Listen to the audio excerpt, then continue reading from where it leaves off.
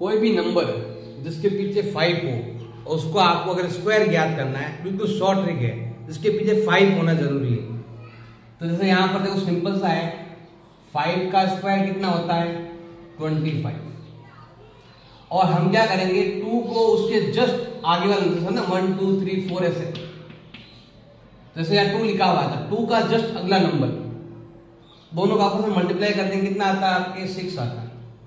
वैसे यहाँ पर करेंगे फाइव का square, twenty five.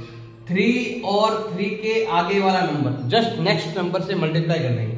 Three, four जा कितना होता है? ट्वेल्व। ऐसे आप ये वाला ट्राई करो, ये तीनों ट्राई करो और बताओ कमेंट सेक्शन में कि